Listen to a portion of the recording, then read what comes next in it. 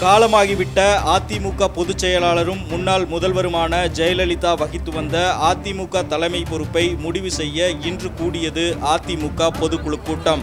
அதிமுக பொதுக்குழுவில் கலந்து கொள்ள இரண்டாயிரத்துக்கும் அதிகமான உறுப்பினர்கள் அழைப்பிதழ்களுடன் தமிழகத்தின் அனைத்து மாவட்டங்களிலிருந்தும் இன்று அதிகாலையிலேயே சென்னை வானகரம் வந்தடைந்தனர். சரியாக காலை ஒன்பது மணி அளவில் முதலமைச்சர் ஓ பன்னீர்செல்வம் வந்ததைத் தொடர்ந்து பொதுக்குழு கூட்டம் தொடங்கியது. கூட்டம் தொடங்கியதும் மறைந்த முன்னாள் முதல்வரின் உருவப்படத்திற்கு கண்ணீர் அஞ்சலி செலுத்தி பதினான்கு தீர்மானங்கள் நிறைவேற்றப்பட்டது. முதல் தீர்மானம் இரங்கல் தீர்மானமாக தொடங்கி பதினான்காவது தீர்மானத்தில் அதிமுக பொதுச் செயலாளராக வி. கே. சசிகலாவை நியமித்து பொதுக்குழு கூட்டம் முடிவடைந்தது.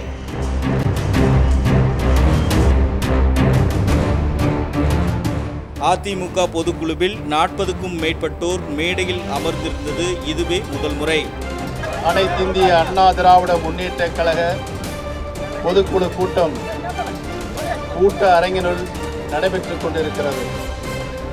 கழக சட்டத்திட்ட விதிகளுக்கு உட்பட்டு கழக பொதுச் செயலராக மதிப்பிற்குரிய சின்னம்மா அவர்கள் நியமிக்கப்பட்டு இருக்கிறார்கள் அதற்கான தீர்மானம் பொதுக்குழுவால் ஏகமனதாக நிறைவேற்றப்பட்டுள்ளது. எந்த அந்த தகவலை மதிப்பிற்குரிய சின்னம்மா அவர்களிடம் தெரிவித்து அவரது சம்மதத்தை பெறுவதற்காக நாங்கள் இப்பொழுது சென்று கொண்டிருக்கின்றோம். மாண்புமிகு மரியாதைக்குரிய சின்னம்மா அவர்கள் இந்த கழகத்தினுடைய பொதுச் செயலராக இருக்க வேண்டும் என்று தீர்மானம் நிறைவேற்றியது. அந்த தீர்மானத்தை மதிப்பிற்குரிய சின்னம்மா அவர்களிடம் கழகத்தினுடைய மூத்த நிர்வாகிகள் இன்று கொண்டு கொடுத்து மாண்புமிகு மரியாதைக்குரிய சின்னம்மா அவர்களுடைய ஒப்புதலையும் பெற்றுவிட்டார்கள்.